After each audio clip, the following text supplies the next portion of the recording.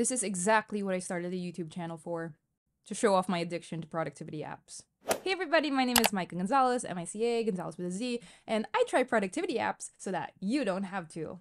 And in this video, I'm going to reveal six amazing apps that have just changed the way that I work on my Mac. So if you're wondering which ones are worth your money and why, then keep watching. Let's jump right into it with the first app called Session. For people who have been following me for any length of time, you probably know I sometimes use the Pomodoro technique for keeping productive and staying focused. Well, let me tell you right now, I just found an app that made me fall in love with this technique all over again. And yes, that app is called Session. Right out of the box, it looks like just another Pomodoro timer app, but when you dig in deep, you realize it's actually so much more.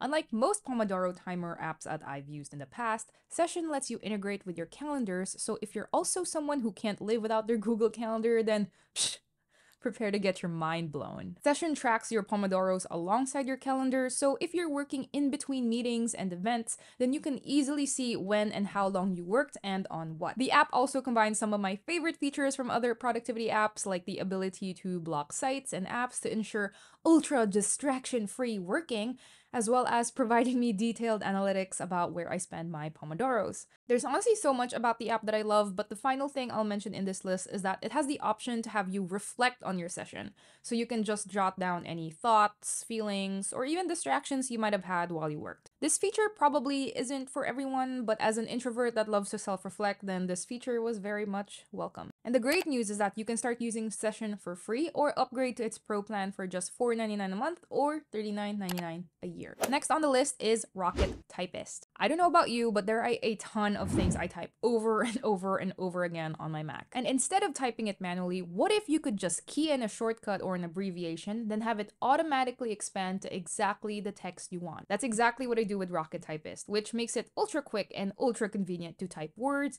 phrases, and even sentences that you keep on typing over and over anyway. For me, that's things like my very long email address, my phone number, my address for online shopping, of course, and even phrases and sentences that I might always include in certain emails. There are a bunch of features from Rocket Typist that I haven't really explored and frankly don't really know how to use, so I might really only be using about 50% of the app's true capabilities. Either way, even if I'm not using every single feature, just having these text shortcuts and abbreviations has saved me so much time and from so many mistakes of mistyping my email or my address, which Let's all admit we all kind of done at one point or another. In case you want to learn more, Rocket Typist is available for $9.99 as a one-time payment, and yes, I would absolutely pay for it over and over again. Third on my list is an app that makes it so easy and so awesome to take screenshots, screen recordings, and yes, even those little screen recordings with talking head videos. Welcome CleanShot X. CleanShot X takes whatever QuickTime does and makes it 10 times better.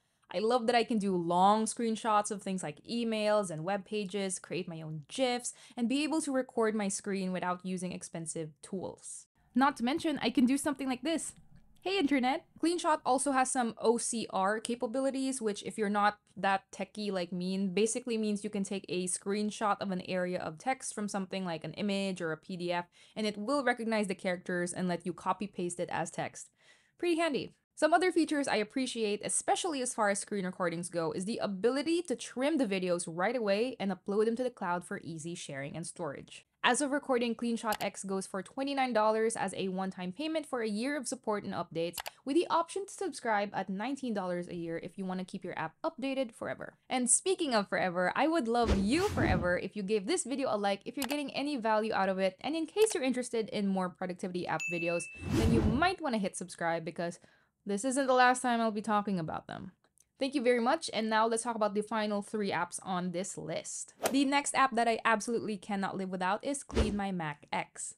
Exactly as the name suggests, it's an app that cleans my Mac. And in case you're wondering, yes, it absolutely is a productivity app. If my Mac is clean, it runs faster. If it runs faster, I'm just more productive. So that's that. To be more specific, Clean My X optimizes your app using all these cool tools and features that I honestly wouldn't really know how to do myself on my Mac, from clearing your cache to your RAM, and a bunch of other things I honestly don't understand, but I do anyway because I trust this app. and you should too. One cool thing that I do understand and love using are the features that let me see the files, the apps, the folders that are taking up the most room on my Mac, as well as old dusty files that I might want to make, you know, gone. Clean My Mac X is one of the more expensive apps on this list so far, clocking in at $39.95 a year, with options to purchase as a one-time payment with optional upgrades in the future, as well as additional licenses if you have more than one Mac. Now, please give me a minute to just talk about one of my absolute favorite apps as a writer, Scrivener. Scrivener is honestly the app I wish I had back when I was a college student, doing all kinds of papers and things like that. The app was built for writers like novelists, screenplay writers, but it's honestly so flexible that I don't see why content writers like me can't make the most of it either. Scrivener works as a digital binder, helping you keep all sorts of files, text, research, notes, all these things for a project in one handy place. So whether you're writing a novel with a whole lot of world building or you're keeping research for a future nonfiction book that's in your drafts, you're pretty much covered. There are a ton of other features that make Scrivener so perfect that I can't possibly get into each and every single one here, but if you are a creative writer and want the best experience for writing, keeping notes, outlines, and all that stuff, then Scrivener will be your best friend. The best part about Scrivener is that it's available as a one-time purchase at $49, and I seriously seriously would pay double that. I just freaking love this app. The last and final productivity app that I cannot live without on my Mac is Paste.